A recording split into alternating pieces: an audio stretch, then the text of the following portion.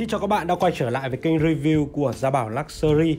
Ngày hôm nay thì chúng tôi sẽ giới thiệu tới các bạn một chiếc đồng hồ khá là hot với à, phân khúc khoảng trên dưới 100 triệu.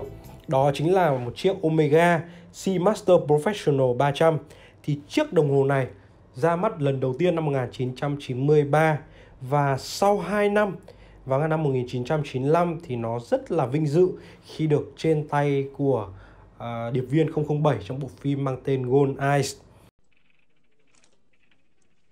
So how is old Q? Up to his usual tricks? The watch. Ah, new model. Still press here, do I?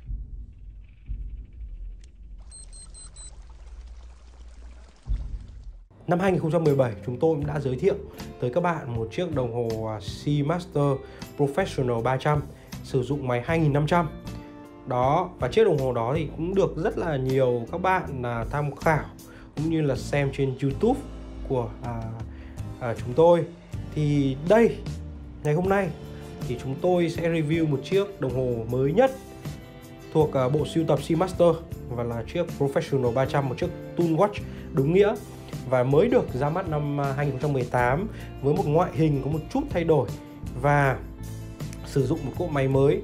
Tuy nhiên, cái điểm mà mà tôi muốn đề cập à, nhiều nhất ở chiếc đồng hồ này đó chính là một bộ dây cao su hoàn toàn mới bắt trend với thời đại các bạn ạ. Chúng ta sẽ đi qua từ từ từng chi tiết.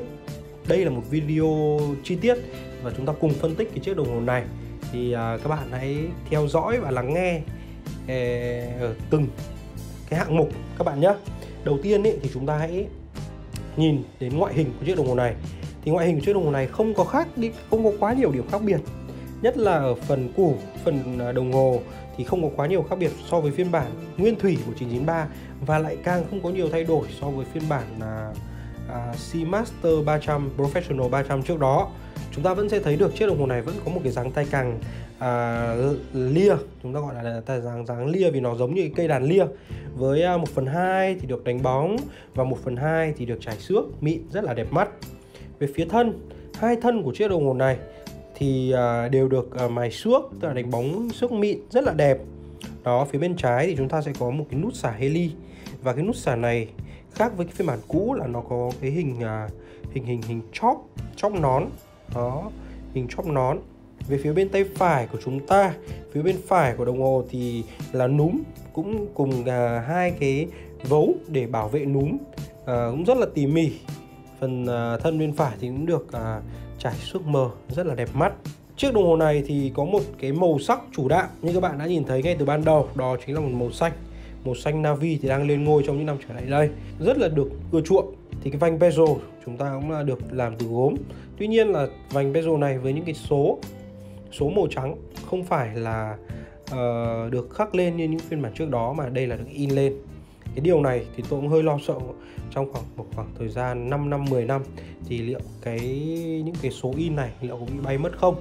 Và nó sẽ không được bền vững như là cách trước đây Omega làm đó là khắc và đổ đầy đổ đầy uh, hợp chất lên để cho tạo ra những cái con số cũng như là các cái vạch phút không được bền vững như những cái cách làm trước đây tuy nhiên là cái cảm giác của tôi khi sờ cái vành này, cái vành bezel này, nó rất là mịn, nó rất là mịn, nó không có cái cảm giác là nó được in lên.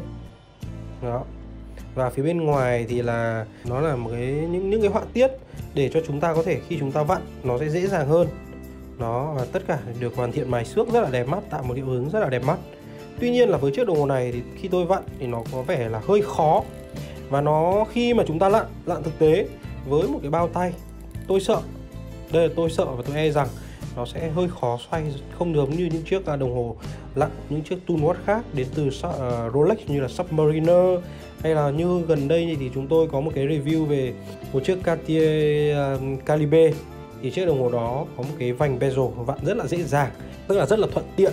Nó không như chiếc vành của Omega Seamaster 300 này.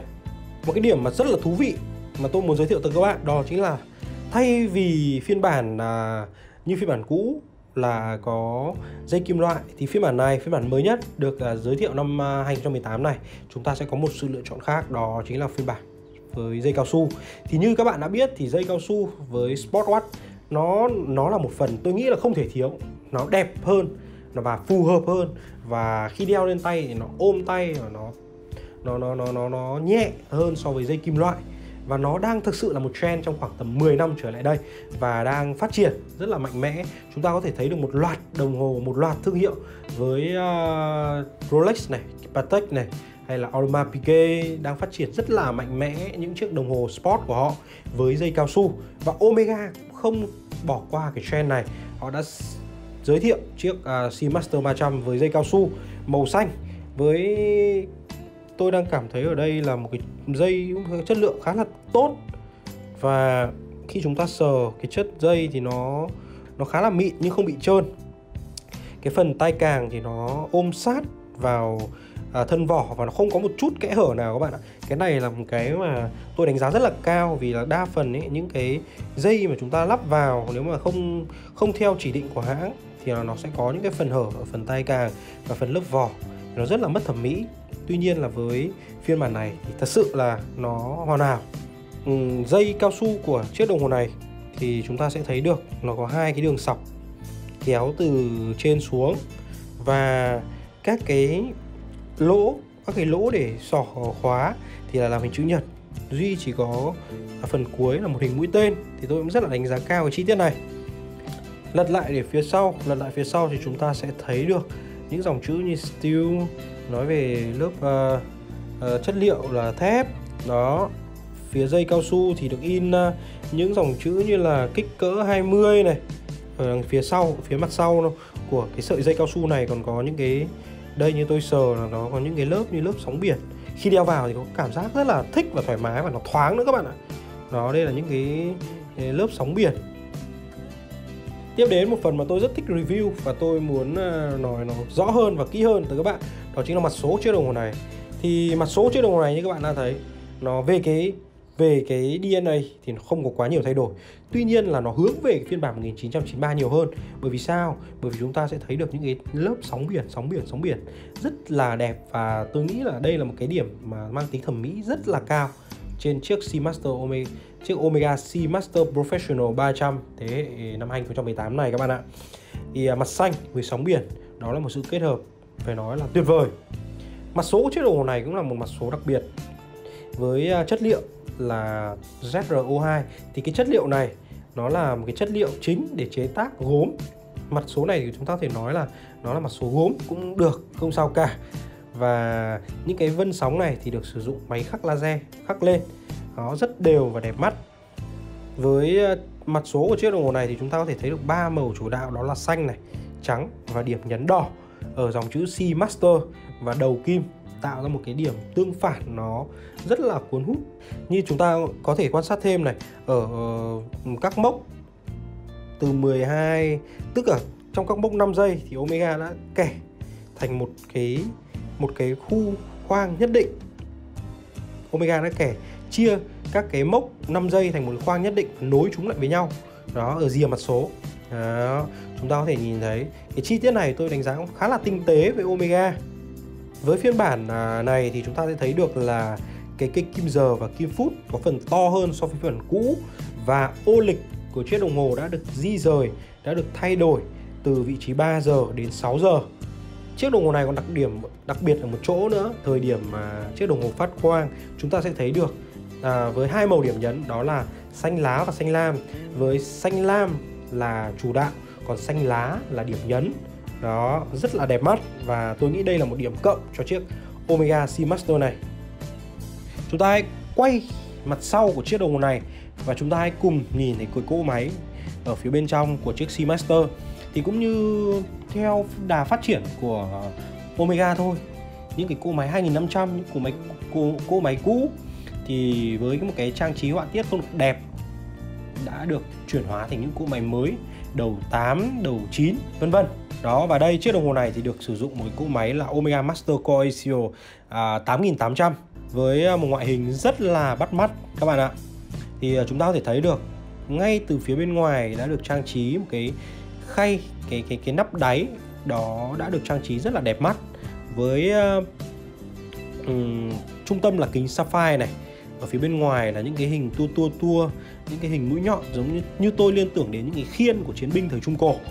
Và phía bên trong thì chúng ta sẽ thấy được một bộ máy à, 8800 và cỗ máy này chúng ta đã được nâng cấp lên một cái chứng chỉ là Master Chronometer cao cấp hơn COSC rất là nhiều cỗ máy này với một cái thông số nó đó chính là 35 chân kính.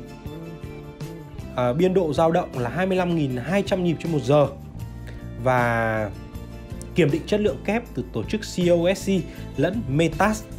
Đó và đó là lý do chiếc đồng hồ này có lên có tận 3 thẻ. 3 thẻ.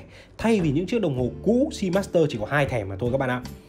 Thì chiếc đồng hồ này còn có một cái dây tóc là dây tóc uh, Silic 14 bộ thoát Coisio và chiếc đồng hồ này thì có thể kháng từ ở uh, 15.000 gauss đó là một cái lợi ích khi dây tóc từ silicon đem lại thay vì dây tóc uh, truyền thống.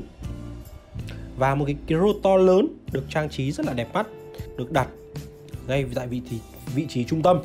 Và một điểm mà ở chiếc đồng hồ này mà tôi có lẽ là hơi thất vọng một chút. Đó chính là cái thời lượng cót nó không được nâng cấp lên quá nhiều và nó chỉ ở dao động ở mức 55 tiếng có nghĩa là hơn hai ngày một chút. Và trong khi chúng ta đã biết rồi những chiếc đồng hồ hiện nay thường thì bộ tự động được tăng được có cái mức uh, động từ khoảng 60 đến 70 tiếng được gọi là thời gian trung bình thay vì dưới 50 tiếng như thời gian ngày trước. Đó thì đây là một cái điểm mà tôi hơi hơi hơi chưa được ưng ý với một cái cỗ máy mới như là một cỗ máy 8800 Omega này. Và sau đây thì tôi sẽ lên tay chiếc đồng hồ này để cùng cảm nhận các bạn nhé. Đầu tiên ý, cái cảm nhận thì như tôi đã nói ngay từ ban đầu đeo lên tay thì nó cái chất lượng dây cao su rất là tuyệt vời. Thoáng mát nữa và ôm tay rất là đẹp mắt. Xỏ dây rất là dễ dàng qua qua hai cái đỉa tại sao nó lại tạo ra hai cái dọc này cũng một phần là để cho nó bớt đi cái ma sát. À, nếu như không có hai cái dọc thì khi chúng ta đưa dây vào thì nó sẽ khá là ma sát và nó khá là rít. Tuy nhiên là khi tôi đưa vào thì nó rất là trơn và rất là dễ dàng. Cảm giác ôm tay khóa rất là đẹp. Cảm nhận cảm giác cá nhân của tôi khi đánh giá chiếc đồng hồ này đó là so với phiên bản à, cũ phiên bản sử dụng máy 2500 thì chiếc đồng hồ này nó bị giảm đi một chút là một chiếc đồng hồ tool watch tức là một chiếc đồng hồ lặn dành cho mục đích lặn mà nó hơi thiên hướng nó hơi điệu hơn một chút ở mặt số này một uh, chút ở dây cao su này một chút ở cái trang trí bài trí uh, và cái cái đáy. Thì nó nó nó tăng cái tính thẩm mỹ lên là điều đương nhiên rồi. Tuy nhiên là nó cái định hướng của chiếc Omega Seamaster này nó hơi định hướng lên những chiếc luxury sport watch. Ví dụ như là những chiếc AP tôi cảm giác là nó nó nó hơi định hướng lên những chiếc ờ, AP của những cái dòng đồng hồ thể thao xa xỉ. Cái cảm giác đeo thì rất là tuyệt vời. Và tôi nghĩ là, đây là cá nhân tôi nghĩ là ở góc độ khoảng, giá hãng chiếc đồng hồ này là 4.900 USD tức là khoảng trên 100 triệu. Thì đây, tôi nghĩ đây là một sự lựa chọn rất rất rất là tuyệt vời. Và chiếc đồng hồ uh, Seamaster 300 thế hệ mới này có mặt tại Gia Bảo Hà Nội và Gia Bảo Sài Gòn. Nếu như các bạn có nhu cầu cũng như là muốn đến Gia Bảo để trải nghiệm lên tay cùng đánh giá thì hãy đừng ngại ngần liên hệ với chúng tôi để qua cùng trải nghiệm chiếc đồng hồ này các bạn nhé. Xin chào và hẹn gặp lại các bạn trong những video review tiếp theo.